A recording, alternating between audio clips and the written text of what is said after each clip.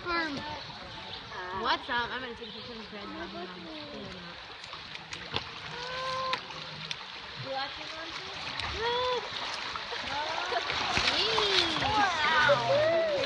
My headlamp is not on yet.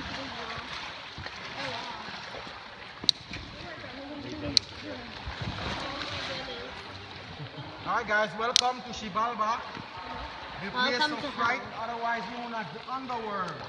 Oh, this is so It has existed not just for a hundred thousand years, but for several hundred thousand years.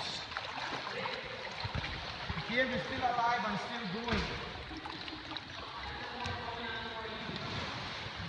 We may be I don't think these lights really do much. about ancient hundred years. We're a very ancient place.